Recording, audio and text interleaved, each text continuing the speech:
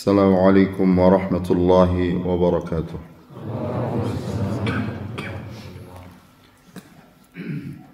إن الحمد لله نحمده ونستعينه ونستغفره ونعوذ بالله من شرور أنفسنا وسيئات أعمالنا. من يهد الله فلا مضل له ومن يضلل فلا هادي له. وأشهد أن لا إله إلا الله وحده لا شريك له وأشهد أن محمدا عبده ورسوله. يا أيها الذين آمنوا اتقوا الله حق تقاته ولا تموتن إلا وأنتم مسلمون. يا أيها الناس اتقوا ربكم الذي خلقكم من نفس واحدة وخلق منها زوجها وبث منهما رجالا كثيرا ونساء واتقوا الله الذي تساءلون به والأرحام إن الله كان عليكم رقيبا.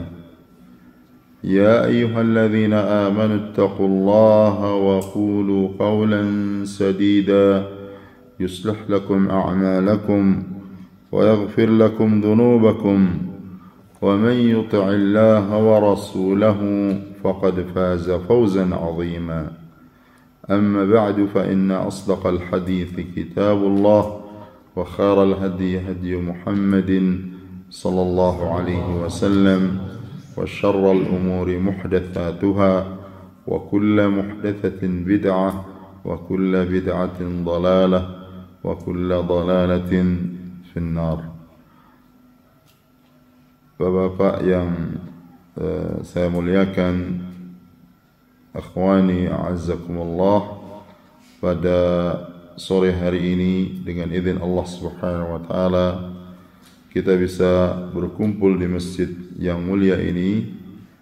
Kita bersyukur kepada Allah Subhanahu Wa Taala Bahwa Allah Subhanahu Wa Taala Berikan kita hidayah Kepada Islam Hidayah kepada sunnah Rasulullah sallallahu alaihi wasallam. Salawat dan salam kepada Nabi kita yang mulia Nabi Muhammad sallallahu alaihi wasallam yang telah membimbing kita kepada jalan yang hak yaitu jalan beliau Rasulullah sallallahu alaihi wasallam karena tidak ada keselamatan, kebaikan, kebahagiaan kecuali jalan Islam yang dibawa oleh Nabi kita yang mulia Nabi Muhammad sallallahu alaihi wasallam Allah Subhanahu wa taala berfirman inna ad-dina 'inda Allahil Islam Sesungguhnya agama yang hak di sisi Allah Subhanahu wa taala adalah agama Islam Kemudian juga Allah Subhanahu wa taala berfirman wa man yabtaghi ghayra al-islam dinan falan yuqbala minhu wa huwa fil akhirati minal khasirin Barang siapa yang mencari selain Islam sebagai agama baginya maka dia tidak akan diterima oleh Allah Subhanahu wa taala dan kelak di akhirat dia akan termasuk orang-orang yang merugi. Oleh karena itu nikmat yang terbesar yang wajib kita syukuri, yang wajib kita terus ingat adalah nikmat bahwasanya Allah berikan kita hidayah kepada Islam, kepada jalan Rasulullah SAW Allah berfirman واذكروا نعمة الله عليكم إذ كنتم أعداء فألف بين قلوبكم فأصبحتم بنعمته إخوانا dan ingatlah nikmat Allah Subhanahu wa taala yaitu Islam atas kalian ingatlah nikmat Allah Subhanahu wa taala atas kalian yaitu al-Islam yang di mana dulu kalian bermusuhan satu sama lain. Kemudian Allah jadikan kalian dengan sebab nikmat ini yaitu Islam menjadi orang-orang yang bersaudara. Kalau bukan karena Allah Subhanahu wa taala dengan Islam yang dibawa oleh Nabi Muhammad sallallahu alaihi wasallam tidak akan ada kaum muslimin yang bersatu hatinya seperti satu jasad seperti yang digambarkan oleh نبي محمد صلى الله عليه وسلم مثل المؤمنين في توادهم وتراحمهم وتعاطفهم كمثل الجسد الواحد إذا اشتكى منه عدو تداعى له سائر الجسد بالحمى والسحر.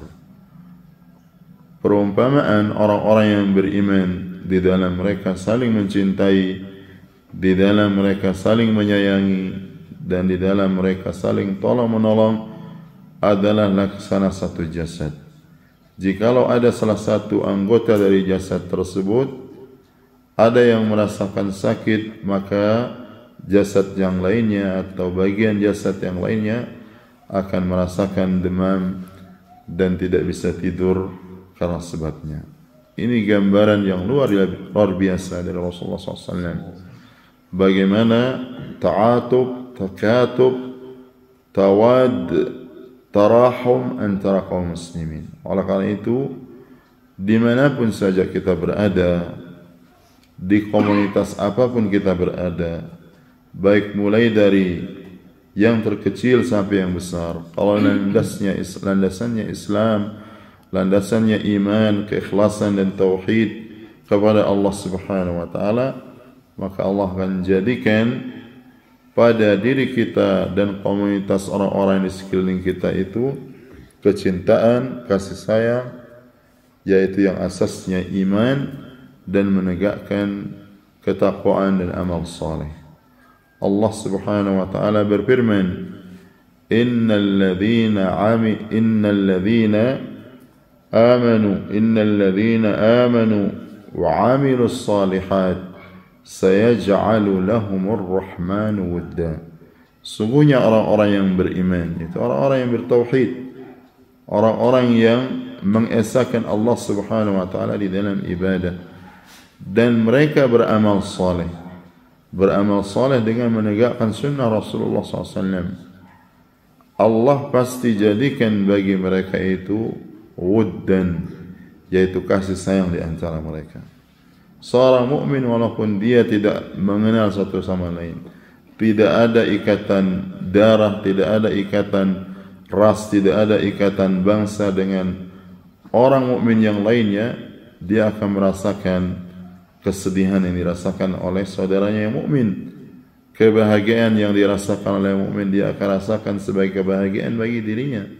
Kenapa? Karena dia ditautkan oleh Allah dengan keimanan itu dan inilah yang harus kita jaga dan inilah yang harus kita istiqamah di atasnya oleh karena itu Rasulullah sallallahu alaihi wasallam mengatakan di dalam hadis Qul amantu billahi thumma istaqim.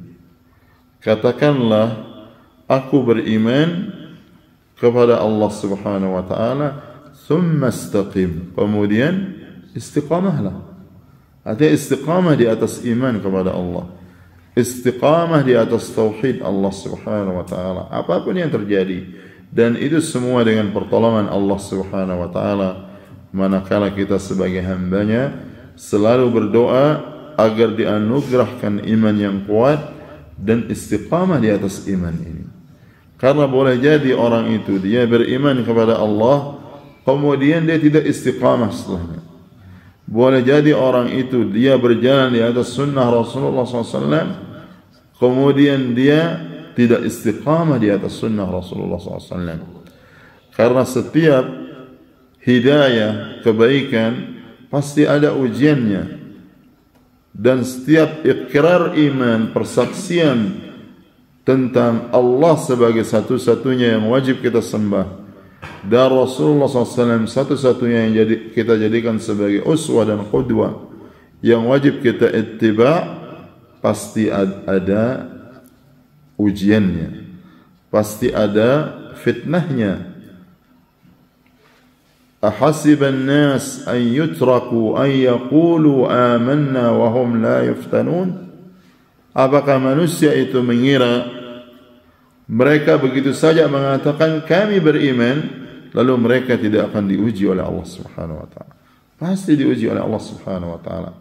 Tetapi sekarang bagaimana kita meminta kepada Allah istiqamah di atas jalan Islam, istiqamah di atas jalan tauhid, istiqamah di atas jalan sunnah walaupun kita berhadapan dengan ujian. Kita meminta kepada Allah bahawa ujian yang kita hadapi itu membahagiakan kita. Walaupun kita berada di dalam kesulitan, walaupun kita berada di dalam kemudahan, kadang-kadang kemudahan yang kita dapatkan itu lebih berat ujiannya dibandingkan dengan kesulitan yang kita hadapi. Tidak sedikit orang karena kesulitan yang menempa dia dalam kehidupan menjadikan dia semakin kuat imannya justru. Semakin dekat kepada Allah. Dia merasa apa yang dia hadapi ini sulit dan berat. Dan dia meyakini dan dia rasakan bahawa tidak ada yang bisa menyelesaikan kesulitan ini kecuali Allah lalu dia kembali kepada Allah.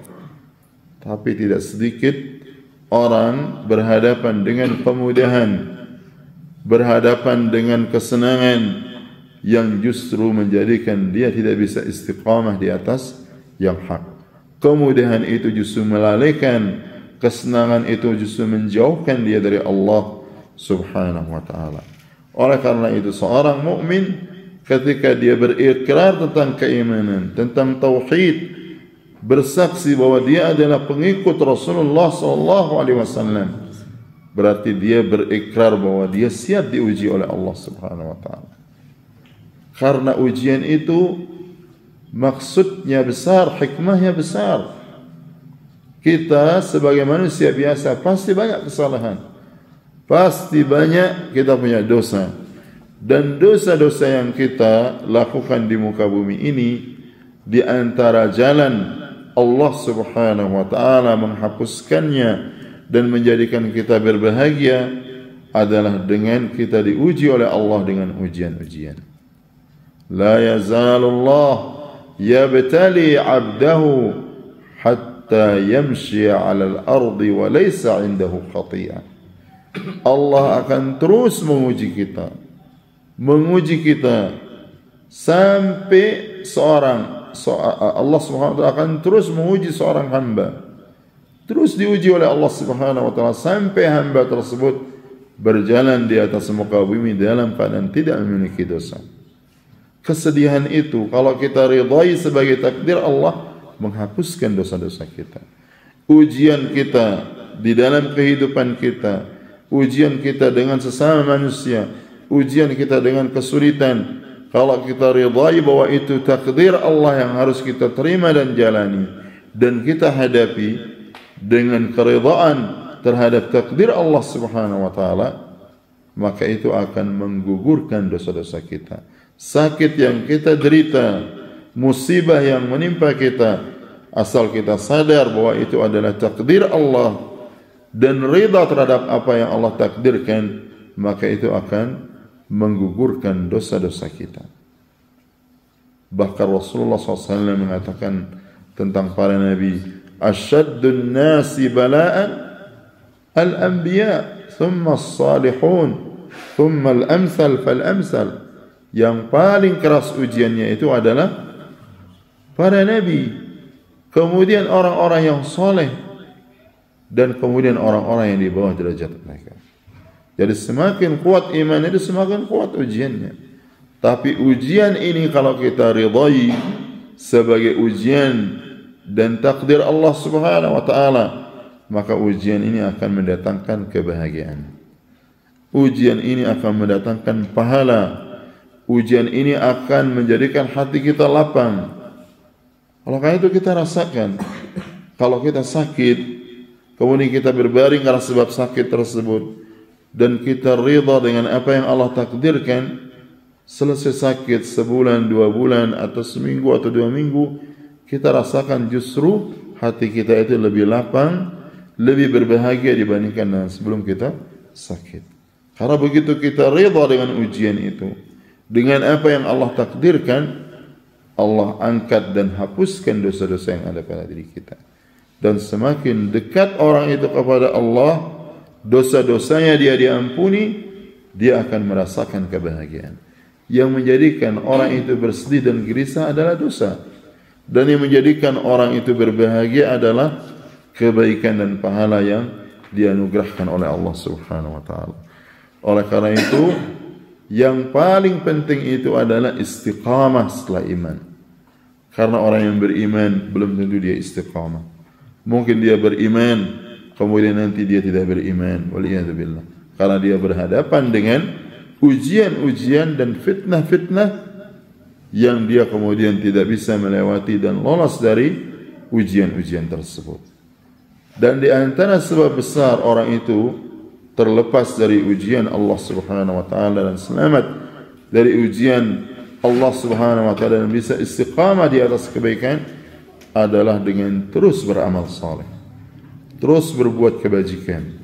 Di dalam hadis yang sahih Rasulullah SAW bersabda, "Badiru bil a'mali fitanan كقطع الليل المظلم يصبح الرجل مؤمنا ويمسي كافرا أو يمسي مؤمنا ويصبح كافرا يبيع دينه بعرض من الدنيا Bersegeralah kalian untuk beramal. Karena akan muncul fitnah-fitnah seperti potongan-potongan malam. Di mana seorang dia di pagi harinya dia mukmin sore harinya dia berubah kafir. Atau sore harinya dia kafir pagi besoknya dia mukmin.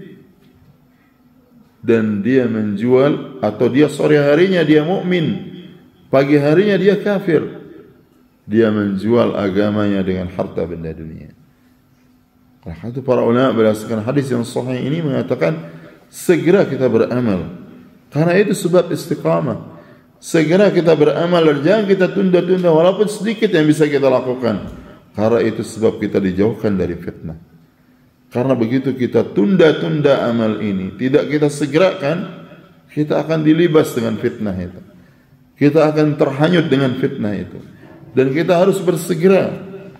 Bersegera untuk menjawab panggilan Allah menuju surga Allah menuju amal saleh menuju ketaatan. Dan jangan kita tunda-tunda. Tidak boleh kita ragu-ragu. Allah berfirman wasari'u ila maghfiratin min rabbikum wa jannatin 'arduha as-samawati wal ardu u'iddat lil muttaqin dan bersegeralah kalian kepada ampunan Allah Subhanahu wa taala. Bertaubat karena kita banyak dosa. Beristighfar karena kita butuh ampunan Allah Subhanahu wa taala. Bersegera mencari ampunan Allah dengan taubat dan juga bersegera kepada surga Allah Subhanahu wa taala yang luasnya seperti langit dan bumi yang dijanjikan bagi orang-orang yang bertakwa. Oleh karena itu, istiqamah ini sesuatu yang mahal. Iman itu mahal. Lebih mahal lagi adalah istiqamah di atas iman itu. Karena hati kita bisa berubah-ubah. Karena itu dalam hadis Anas bin Malik, beliau mengatakan bahwasanya Rasulullah SAW sering sekali beliau mengucapkan Ya muqallibal qulub Thabbit qalbi ala dinik Wahai zat yang membolak-balikkan hati Tetapkanlah aku di atas agama Orang boleh beriman Tetapi kemudian dia tidak istiqamah Orang boleh dia cinta suatu saat Kepada sunnah Rasulullah SAW Mencintai Nabi Muhammad SAW Tapi dia tidak istiqamah Lalu kemudian justru memusuhi Nabi Muhammad SAW memusuhi sunnah Rasulullah SAW. Al-Imam Ibn Al-Qayyim rahimahullah beliau mengatakan afdalul karamah al-istiqamah. Karamah yang paling afdal kalau disebutkan di dalam akidah Ahlus-Sunnah wal Jamaah tentang adanya wali-wali Allah yang mereka dicintai oleh Allah Subhanahu wa taala. Seperti Allah sebutkan dalam Al-Quran, "Ala inna awliya Allah 'alaihim wa la hum yahzanun, alladhina amanu wa kanu yattaqun." Ketahuilah bahawa sesungguhnya wali-wali Allah tidak ada rasa takut pada mereka dan mereka tidak bersedih. Mereka tidak berduka yaitu mereka orang-orang yang beriman kepada Allah Subhanahu wa taala dan mereka bertakwa kepada Allah. Akidahnya kuat dan mereka mengamalkan amalan-amalan yang diperintahkan oleh Allah dan Rasulullah SAW. Jadi dia tegakkan keimanan tauhid, kemudian dia wujudkan keimanan dan tauhid itu dengan ketakwaan, dengan amal saleh, dengan menegakkan sunnah. Mereka itulah wali-wali Allah Subhanahu wa taala. Dan di dalam akidah yang diajarkan oleh para ulama kita, ulama ahli sunnah, bahawa para wali Allah itu mereka diberikan oleh Allah karamah.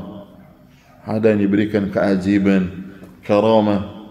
Dia bisa atau diberikan oleh Allah Subhanahu wa taala sesuatu yang di luar akal sehat manusia. Dikisahkan di dalam Al-Qur'an, Maryam alaihi salam ibunda ibunda Nabi Isa alaihi salam beliau seorang wali Allah beliau bukan nabi dan rasul karena tidak ada nabi dan rasul dari kalangan wanita setiap hari karena dekatnya kepada Allah, karena ibadahnya kepada Allah, karena dia menjauh, menjauhkan diri dari fitnah, beliau dikirimkan oleh Allah Subhanahu Wa Taala setiap hari hidangan, makanan dan minuman tidak perlu dimasak, tapi sudah disiapkan. Itu semua adalah karamah. Sebagian para ulama kita yang mereka orang-orang yang soleh diberikan karamah tertentu yang di luar nalar di luar khawarik dan dia khawarikul adah artinya di luar daripada kebiasaan. Ya. Beragam ya. Karamah yang Allah berikan. Tapi Imam Al-Qayyim para ulama kita mengatakan afdalul karamah al-istiqamah. Karamah yang paling afdal itu adalah apa istiqamah istiqamah bahwa kita itu ditetapkan oleh Allah begitu kita beribadah kita ditetapkan oleh Allah untuk terus beribadah istiqamah di atas ibadah kita. Oleh kerana itu kita jaga amal yang kita lakukan. Jangan sampai kita sudah di atas kebaikan, Allah sudah berikan kita hidayah, lalu kita melenceng. Kita sudah diberikan kesempatan masuk kepada bulan Ramadan yang di, yang di dalamnya ada keutamaan-keutamaan amal, keberkahan dilipat gandakan, kebaikan-kebaikan dan pahala di sisi Allah lalu kemudian kita tidak memanfaatkan dan istiqamah untuk beramal di bulan Ramadan yang dimuliakan oleh Allah Subhanahu wa taala. Jangan semakin dekat Idul Fitri dan semakin jauh bulan Ramadan kemudian kita semakin apa namanya? Semakin berkurang semangat kita.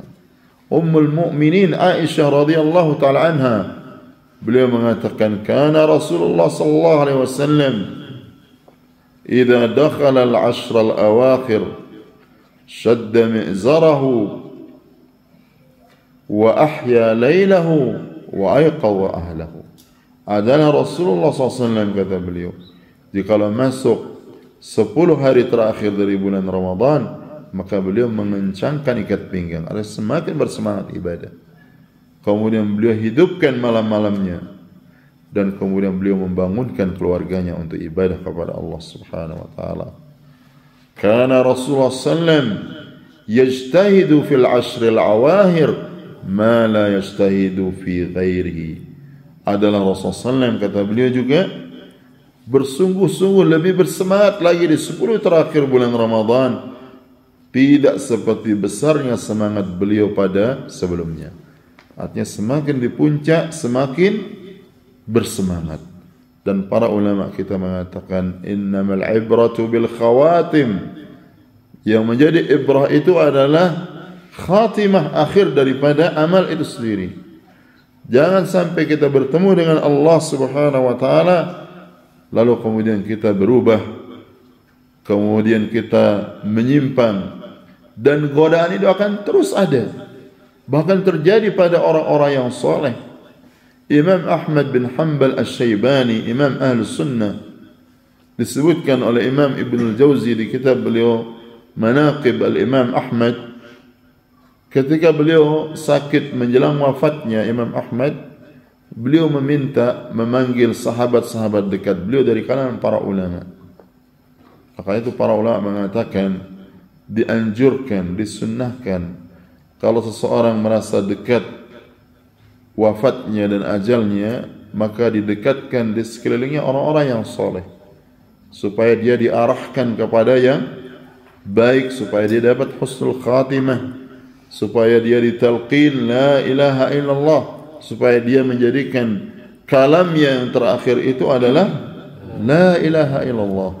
Rasulullah SAW bersabda man kana akhiru kalamihi la ilaha illallah dakhala al jannah barang siapa yang akhir dari perkataannya La ilaha illallah pasti masuk dalam surga.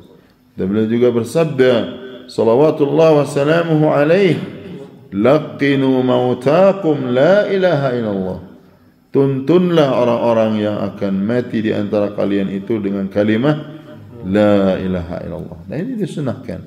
Imam Ahmad ketika memanggil sahabat-sahabat dekatnya dari kalangan para ulama' ketika mereka kemudian mentalqin beliau untuk mengucapkan la ilaha illallah tiba-tiba Imam Ahmad mengatakan la ba'du la ba'du kemudian beliau pingsan kemudian beliau bangun ditalqin lagi kemudian beliau mengatakan di, di, di, diminta untuk mengucapkan la ilaha illallah. Beliau mengatakan la ba'du. La ba'du kata beliau. Tidak nanti. Nanti kata beliau.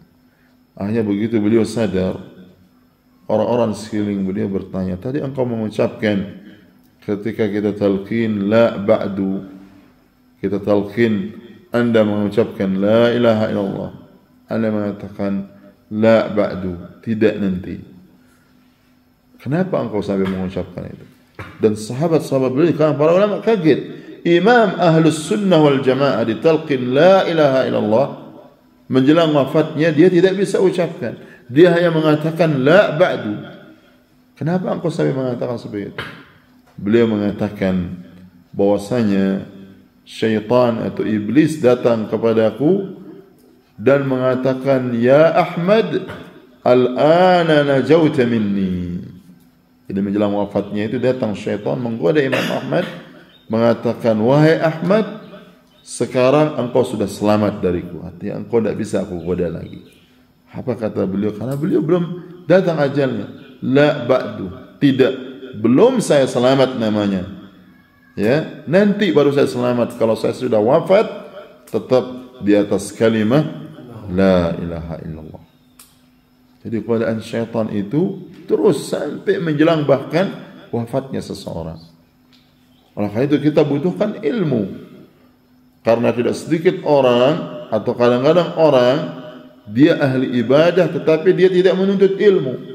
Lalu mudah dia disesatkan oleh syaitan. Syekhul Islam Ibn Taymiyyah rahimahullah beliau menyebutkan di kitab beliau Majmu' Fatawa kisah tentang Syekh Abdul Qadir Al-Jailani rahimahullah. Syekh Abdul Qadir Al-Jailani Al-Jailani atau Al-Jilani beliau adalah ulama ahli sunnah wal jamaah di zamannya. Disebutkan oleh beliau pernah Syekh Abdul Qadir Al-Jilani beliau itu salat di suatu tempat kalau tidak sah di padang pasir. Selesai beliau salat beliau melihat ada asap di depannya. Lalu dari asap itu beliau mendengar suara ya Abdul Qadir ana rabbuka wa anta abdi qad ahlaltu ma harramtu alayka.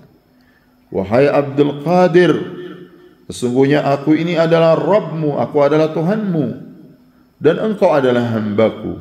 Sekarang aku halalkan bagimu apa yang telah aku haramkan.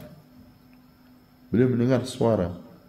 Beliau langsung mengatakan karena beliau punya ilmu beliau mengatakan ikhsa ya la'in diam engkau makhluk yang terkutuk Beliau langsung paham bahawa ini syaitan. Tidak sedikit saudara-saudara kita karena kurang ilmu dan itu membutuhkan hidayah dan istiqamah juga. Kadang-kadang dibisikin karena dia rajin ibadah tapi dia tidak menuntut ilmu. Begitu banyak ibadah, banyak ibadah dibisikin. Sekarang sudah cukup kamu ibadah. Sekarang sudah cukup engkau taat kepada Allah. Bebas kamu melakukan apa-apa saja. Lalu dia tergoda dan dia menganggap itu adalah bisikan dari malaikat atau ilham dari Allah Subhanahu wa taala. Padahal itu godaan syaitan. Oleh karena itu hal-hal seperti ini tidak bisa kita bedakan kecuali dengan ilmu. Dan ini juga menunjukkan bahwa istiqamah itu membutuhkan ilmu. Terus kita belajar menuntut ilmu, terus kita beramal agar kita selamat dari fitnah dan ujian di dalam kita beribadah kepada Allah Subhanahu wa taala. Allah Subhanahu wa taala berfirman di dalam surat Hud, "Fastaqim kama umirta wa man taba ma'ak wa la tatghaw." Dan istiqamalah engkau Muhammad seperti engkau diperintahkan. Dan juga bersama orang-orang yang bertaubat dengan engkau.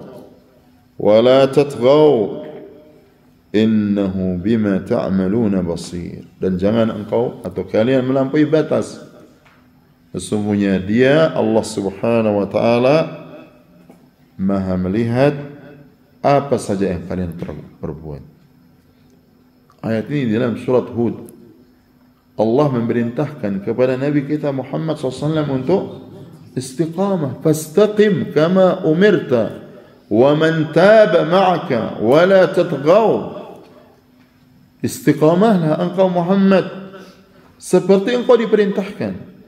Kalau kita beramal apa yang kita diperintahkan oleh Allah dan Rasulullah SAW kita lakukan.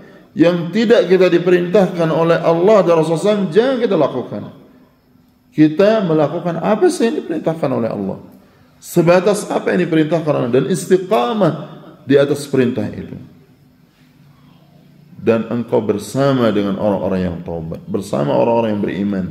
Dan ini pentingnya orang itu ibadah berjamaah bersama orang-orang yang soleh.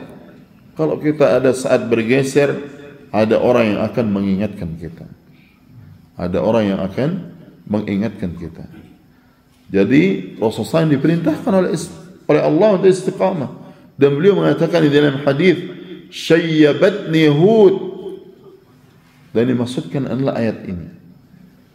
Beliau mengatakan telah menjadikan rambutku beruban yaitu surat Hud karena di situ ada ayat istiqamah. Karena saking beratnya apa? Istiqamah. Seperti kita sebutkan, orang boleh saja diberikan hidayah oleh Allah, tapi apakah dia akan istiqamah di atas hidayah? Belum tentu. Ada orang yang masuk Islam dan diberikan hidayah oleh Allah dengan perjuangan dengan kesulitan di awal Islam lalu kemudian dia murtad dari jalan Islam. Suami atau mantan suami Ummu Habibah yang kemudian Ummu Habibah menjadi istri Rasulullah SAW menjadi ummahatul mu'minin. Ketika beliau dengan mantan suaminya dulu diperintahkan hijrah bersama kaum muslimin, beliau hijrah dari kota Makkah ke Habasyah. Lalu kemudian singgah di Habasyah hijrah, suaminya atau mantan suaminya kemudian wal billah berpindah kepada agama Nasrani tidak istiqamah dan itu di antara sebab kemudian Rasulullah sallallahu alaihi wasallam menikahi Ummu Habibah Ummu Habibah beliau ingin untuk memuliakan Ummu Habibah karena perjuangannya Ummu Habibah adalah putri dari sahabat Abu Sufyan yang waktu itu belum masuk Islam. Seorang tokoh Quraisy yang baru masuk Islam setelah penaklukan kota Mekah. Tapi sebelumnya menentang Rasulullah SAW. Ummu Habibah seorang wanita yang kemudian hijrah dari Mekah ke Madinah memperjuangkan agama Islam yang diajarkan oleh Rasulullah SAW dan istiqamah di atasnya. Sampai kemudian Allah anugerahkan dan muliakan beliau menjadi ummahatul mu'minin. Salah satu daripada istri Rasulullah SAW jadi istiqamah itu betul-betul minnah anugerah dari Allah Subhanahu wa taala dan kita berdoa selalu ya muqallibal qulub thabbit qalbi ala dinik wahai zat yang membolak-balikkan hati tetapkanlah hatiku di atas agamamu, agama Allah Subhanahu wa taala. Kemudian juga Rasulullah SAW mengatakan di dalam hadis ittaqillah haitsu kunta al-hasanata tamhuha wa khaliqin nas bi khuluqin hasanin bertakwalah kamu kepada Allah di mana saja kamu berada. Dia istiqamah. Jangan kita hanya ibadah di masjid saja. Kita taat hanya di masjid saja. Lalu keluar dari masjid kita tidak taat. Kita istiqamah taat kepada Allah di mana saja kita berada. Di masjid di pasar di rumah di tempat keramaian di tempat kita sendiri kita tetap istiqamah di atas kebenaran. Ittaqillah bertakwalah engkau kepada Allah haitsu ma kunta di mana saja engkau berada. Wa atbi'is sayyi'ata al-hasanata tamhuha. Dan iringilah keburukan yang terlanjur engkau perbuat dengan kebaikan. Maka kebaikan itu akan menghapuskan keburukan itu. Orang bagaimanapun dia berusaha bertakwa karena dia manusia biasa tempat salah dan dosa pasti saat tertentu dia akan jatuh dalam dosa. Jangan kita digoda oleh syaitan. Ada orang kadang-kadang dia istiqamah tadinya ibadah kepada Allah kemudian dia berdosa. Ketika dia berdosa ini digoda oleh syaitan. Dan syaitan mengatakan kamu sudah berdosa kamu sudah kotor. Kemudian sudah terlanjur tidak usah kamu kembali kepada Allah sehingga dia terus wal billah melenceng dari jalan Allah. Kalau kita salah berdosa segera kita iringi dengan kebaikan. Kita istighfar kita taubat. Kembali kepada Allah. Kullu bani adam khata' wa khairul khata'in at-tawwabun semua anak Adam, anak manusia pasti banyak berbuat salah. Dan sebaik-baik orang yang ber, banyak berbuat salah adalah orang yang terus menerus dia bertaubat kepada Allah Subhanahu wa taala. Maka itu kita terus taubat. Banyak beristighfar. Rasulullah SAW beristighfar setiap hari 70 sampai 100 kali. Beliau Rasulullah SAW mengatakan inni la astaghfirullah fil yawmi 70 marrah wa fi riwayah 100 marrah. Sungguhnya aku beristighfar dan taubat kepada Allah inni la astaghfirullah wa atubu ilaihi 70 marrah wa fi riwayatin 100 marrah sungguhnya aku terus beristighfar. Setiap hari 70 kali sampai 100 kali. Ya. Dalam riwayat ini dikatakan 100 kali. Rasulullah SAW yang dijamin masuk surga. Rasulullah SAW yang sudah diampuni semua kesalahan-kesalahan beliau yang lalu dan yang akan datang. Beliau Rasulullah SAW tetap beristighfar. Dan beristighfar ini menjadikan kita mudah untuk kembali kepada Allah Subhanahu wa taala dan bertaubat. Allah berfirman di dalam Al-Qur'an, "Innal ladzina qalu rabbuna Allah istaqamu tatanazzalu 'alaihimul malaikatu alla takhafu wa la tahzanu." وأبشروا بالجنة التي كنتم توعدون الله سبحانه وتعالى berfirman Innal ladzina qalu rabbuna Allah. Sungguhnya orang-orang yang mengatakan rabb kami adalah Allah. Thumma istaqamu. Kemudian dia istiqamah. Seperti sabda Rasulullah tadi. Qul amantu billahi thumma thumma istaqim. Katakan aku beriman kepada Allah kemudian istiqamahlah dia harus iman itu. Innal ladzina qalu rabbuna Allah. Sungguhnya orang-orang yang mengatakan rabb kami adalah Allah. Kemudian mereka istiqamah Kelak kata Imam Ibn Kathir. Imam Ibn Kathir menyebutkan di dalam tafsir ayat ini, ya Allah katakan tatanazzalu alaihimul malaika. Ketika dia menjelang ajal, para malaikat itu turun kepada mereka. Disebutkan Ibn Kathir untuk menyambut roh yang akan kembali kepada Allah. Tatanazzalu alaihimul malaika akan turun kepada orang-orang istiqamah ini para malaikat. Apa kata para malaikat? Alla takhafu. Jangan kamu takut. Artinya orang-orang yang istiqamah hatta dia di atas hidayah dia takut untuk diazab oleh Allah Subhanahu wa taala dihibur oleh para malaikat diturunkan malaikat oleh Allah Subhanahu wa taala mengatakan alla takhafu jangan kalian takut jangan kalian takut dengan azab Allah di, dijaminkan dihibur oleh para malaikat. Kemudian orang istiqamah juga ketika dia akan wafat, dia pasti bersedih dengan keluarga yang dia tinggalkan. Apa yang dia miliki dari dunia dan keluarga yang dia cintai, dia bersedih. Para malaikat juga menghibur mereka. Allah takhafu wa la tahzanu dan jangan kalian bersedih. Kemudian mereka semakin bergembira. Kan sebagian orang-orang soleh, mereka itu kalau wafat, mereka tersenyum. Karena Allah perlihatkan kepada mereka tempat mereka di surga sebelum mereka wafat. Bahkan sebagian ada yang tertawa. Karena bergembira dengan apa yang Allah subhanahu wa ta'ala janjikan. Allah takhafu wa la tahzanu wa abshiru bil jannati allati kuntum tu'adun dan bergembiralah kalian dengan surga yang telah dijanjikan bagi kalian. Begitu dikatakan wa abshiru bil jannah dan bergembiralah engkau ketika di wafat dikatakan oleh para malaikat dan bergembiralah kalian dengan surga yang dijanjikan oleh Allah bagi kalian. Kemudian mereka senang, mereka tersenyum bahkan sebagian mereka wafat dalam keadaan wajah mereka muka mereka tersenyum, bibir mereka tersenyum Bahkan sebagian menjelang wafat itu ada yang sampai tertawa. Karena Allah perlihatkan kepada mereka apa? Tempat mereka di surga Allah subhanahu wa ta'ala. Oleh karena itu, ikhwas sekalian, terutama di bulan yang mulia ini, kita adalah banyak-banyak berdoa. Karena di bulan Ramadhan inilah ada doa-doa yang kita diberikan oleh Allah yang tidak akan ditolak oleh Allah Subhanahu wa taala. Lisaimi fi Ramadan da'watun la turad.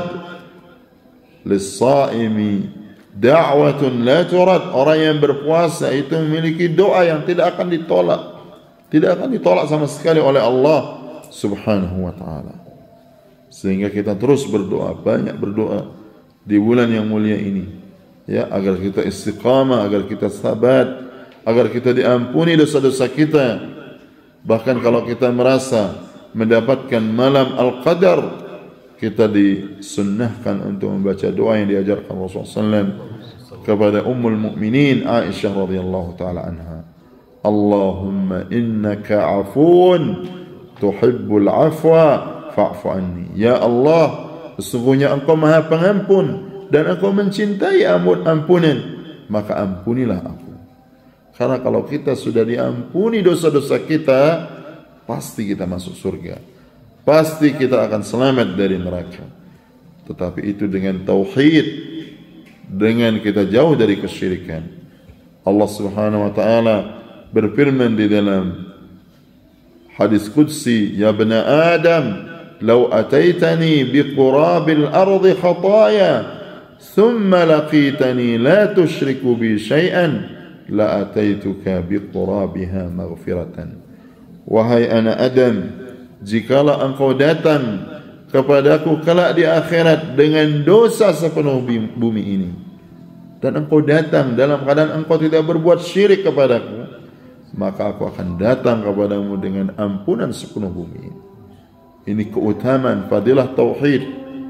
Agar kita bertauhid kepada Allah karena di antara keutamaan besar tauhid dan tidak berbuat syirik bahwa Allah janjikan ampunan yang besar terhadap semua dosa-dosa yang kita lakukan. Walaupun dia sepenuh bumi ini. Dan ini adalah fadl karunia yang besar dari Allah Subhanahu wa taala. Dan hendaklah kita semakin bertambah Ramadan kita bertambah kebaikan. Kita bertambah ketaatan. Berdoa selalu kepada Allah agar kita diberikan sabat dan istiqamah di jalan Allah Subhanahu wa taala. Semoga Allah Subhanahu wa taala memberikan kita selalu hidayah, istiqamah, sabat di atas jalan hidayah dan sunnah. Dan semoga Allah Subhanahu wa taala menyatukan hati kita di atas iman dan ketakwaan kepada Allah Subhanahu wa taala.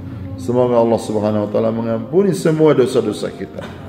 Semoga Allah Subhanahu wa taala memasukkan kita ke dalam surga Firdaus yang tertinggi bersama orang-orang yang kita cintai. Dan semoga Allah Subhanahu wa taala menjadikan kita orang-orang yang diberkahi di mana saja kita berada. Dan semoga Allah Subhanahu wa taala memuliakan kita dengan memandang wajah Allah Subhanahu wa taala yang mulia di akhirat kelak. Wa sallallahu ala nabiyyina Muhammad wa ala alihi wa sahbihi wa sallam. Wa akhiru da'wana anil hamdulillahi rabbil alamin. Wassalamu alaikum warahmatullahi wabarakatuh.